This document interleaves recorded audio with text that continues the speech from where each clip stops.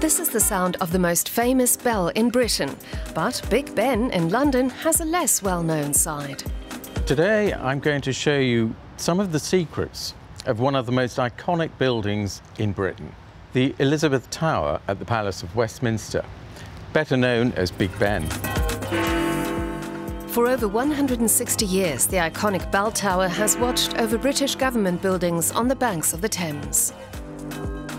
Dr. Mark Collins has been Parliament's historian for 25 years and knows every nook and cranny of Big Ben. He's ready to reveal the first secret. So now we're coming into the belfry of the tower. And we can see five bells, the four quarter bells, which make the Westminster quarter chimes.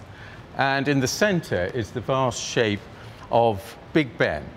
And the secret is that a very large hammer was used to begin with, and it formed a crack in the bell. And so, although it is note E that we hear whenever the clock is struck on the hour, it is in fact a very serious, somber note that we hear.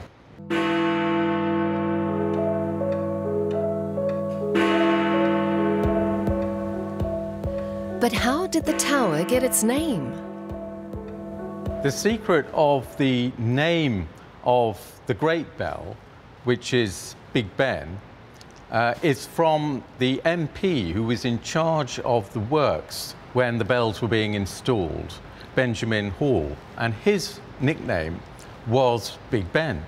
So they gave it to the bell itself, and this has in turn given it to the tower Although it's the Elizabeth Tower, everybody knows it as Big Ben.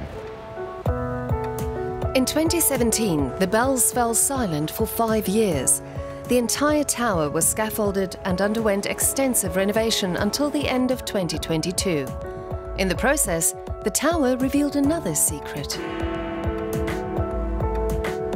It's been a great surprise to find out that the exterior colour of the dials was this blue because we had seen it for generations as black. And it wasn't until we started to take samples of the paint from the outside and carry out some re research into the uh, background archives that we discovered that, in fact, uh, there was this very rich blue. Ian Westworth makes sure the bells ring on time. The clock mechanic climbs 292 steps three times a week to service the inner workings. This is the Great Clock of Westminster. It's a three-train flatbed clock, which means that it's got three distinct sections to it. We've got the quarter train behind me, which strikes quarter past, half past, quarter to, and just before the hour. At the far end, we've got the strike train, which actually rings Big Ben. And in the middle, we've got what's called the going train, and that tells the time. It drives the hands on the outside, tells the other two trains what they're about to do and at what time they're going to do it. Secret number four. This is the pendulum of the Great Clock of Westminster, which keeps the timekeeping. To adjust the timekeeping on it, we use old pre-decimal pennies.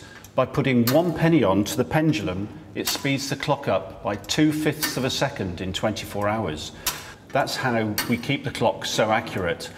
We're only allowed to be plus or minus two seconds of time when it strikes Big Ben.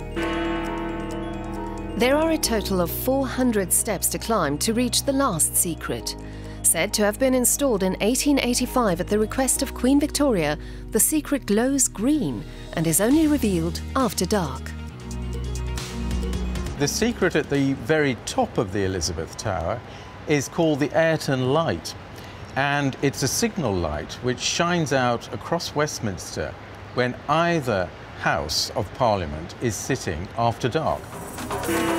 Now tourists and locals can once again enjoy Big Ben ringing out the hours and quarter hours. After all, it's one of the most popular sights and sounds in the British capital.